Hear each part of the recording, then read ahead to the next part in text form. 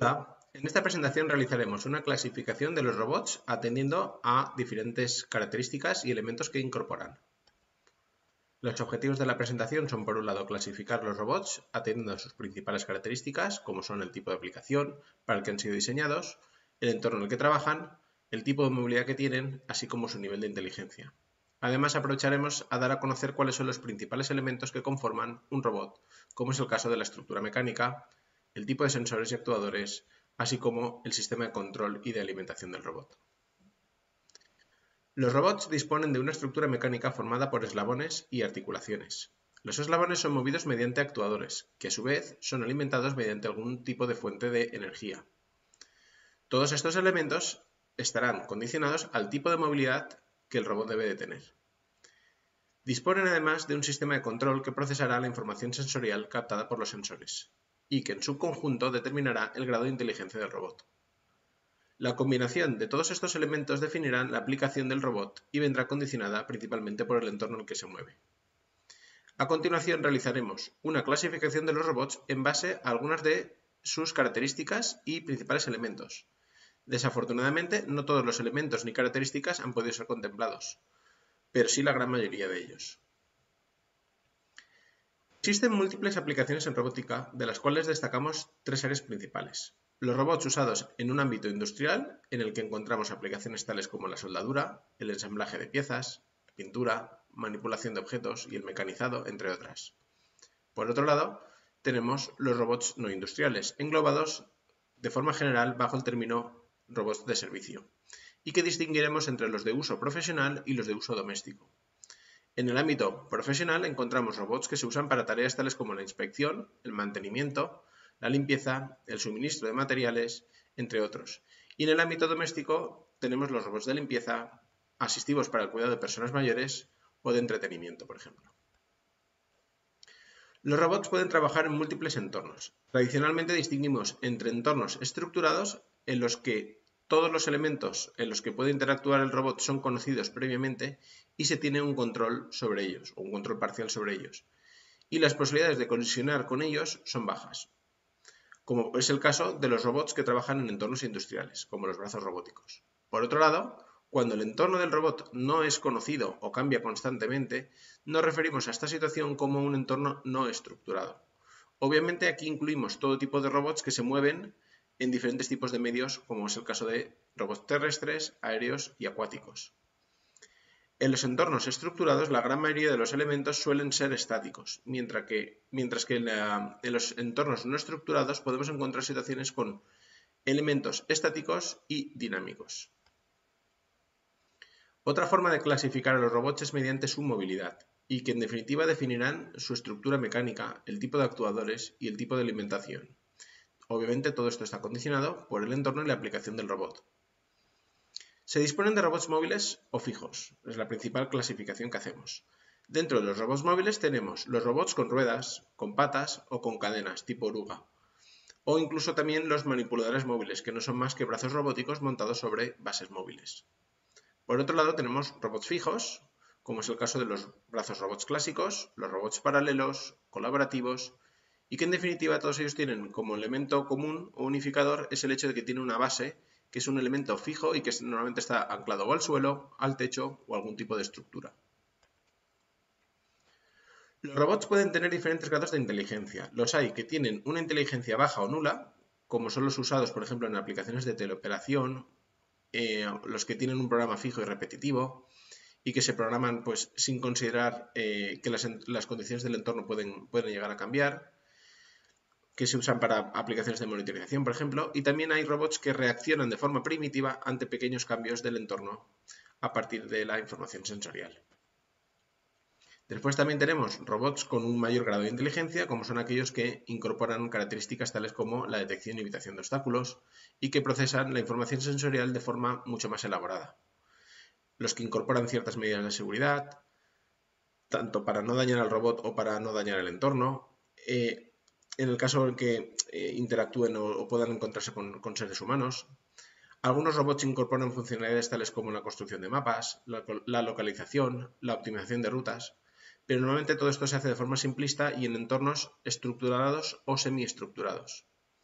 Por supuesto, disponemos también de robots con funcionalidades mucho más elevadas, que pueden ser como el caso de la exploración, la localización y construcción de mapas simultánea, SLAM, la planificación de movimientos, la manipulación de objetos, el aprendizaje o la interacción con el ser humano. Así pues, los robots tienen diferentes tipos de estructuras mecánicas. Los hay que tienen aspecto de vehículo con una base móvil, como son algunos juguetes robóticos, los AGVs, que son los Auto-Guided Vehicles, que se utilizan en entornos industriales, los vehículos autónomos, los UAVs o AUVs, que son eh, robots aéreos y submarinos, este tipo de robots tienen, como principal característica que eh, son robots que tienen la capacidad de moverse en determinados tipos de entornos. Luego tenemos robots manipuladores con aspecto de brazo antropomórfico, como los robots clásicos. También los robots paralelos o los robots colaborativos, y que principalmente se usan en la industria. También existen los robots bioinspirados, que son robots con apariencia humana o animal, y que también ah, en algunos casos podemos encontrar robots o juguetes que eh, están también bioinspirados. Eh, todos este tipo de robots tratan de imitar principalmente en, ah, en, cuanto a lo que respecta a su estructura mecánica, la movilidad de la, en este caso, del ser humano o del animal que están tratando de eh, imitar o de, reproducir. La ventaja de los, de los robots humanoides, por ejemplo, es que pueden ah, utilizar herramientas que han sido diseñadas para humanos sin necesidad de tener que adaptarlas. Y por lo general este tipo de robots pueden caminar o pueden, ah, o pueden eh, moverse eh, en entornos irregulares. Los actuadores más comunes en los robots son los motores de corriente continua y de corriente alterna. Dependiendo de las características del tamaño, velocidad, potencia y par necesarios para cada aplicación y también del tipo de alimentación usada en cada robot, podemos escoger entre un tipo u otro.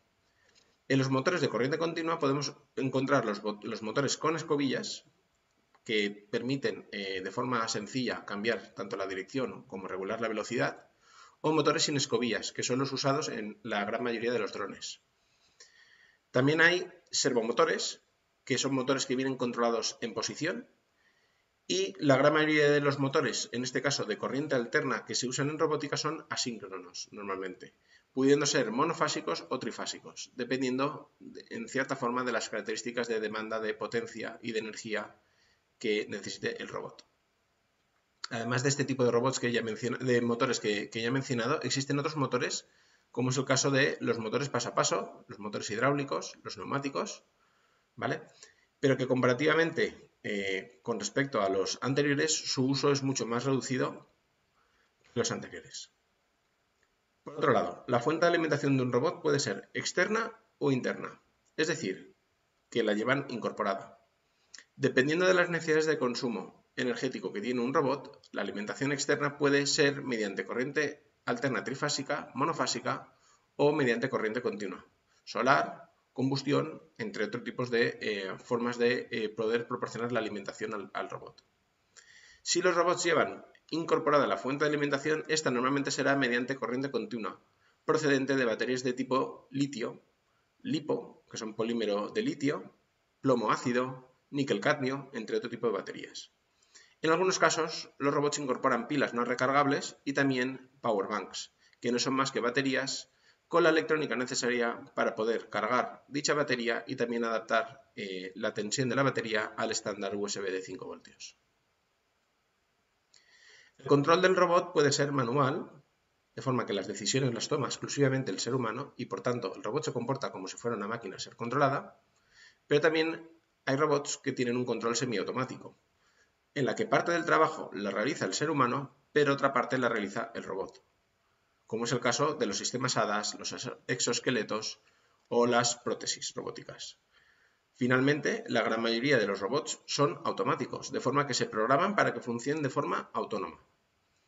Este es el caso de muchos tipos de robots, como es el caso de los robots industriales, los eh, vehículos inteligentes, entre otros. Los robots asistenciales y demás, hay muchos más. Bien, y para finalizar, mencionar al respecto de los sensores que incluyen los robots, que eh, son de muy diversa eh, tecnología sensorial. La principal clasificación que se hace al respecto de los sensores es por la naturaleza de las variables que miden. Si miden variables internas del robot, estos sensores se conocen bajo el nombre de propioceptivos. como es el caso de potenciómetros, encoders, acelerómetros, giróscopos, etc. Si los sensores se usan para medir variables externas al robot, estos se conocen bajo el nombre de esteroceptivos. Y aquí encontramos también una gran cantidad de tecnología sensorial muy diversa, como es el caso de los sensores láser, los ultrasonido, infrarrojos, cámaras, sensores de fuerza y par, sistemas de localización por satélite, etc. Bien, pues en esta presentación he realizado una clasificación general de robots con el propósito de que dispongáis de una visión amplia de la robótica y no exclusivamente de la robótica industrial, que es lo que vamos a ver en lo que queda de curso. Muchas gracias.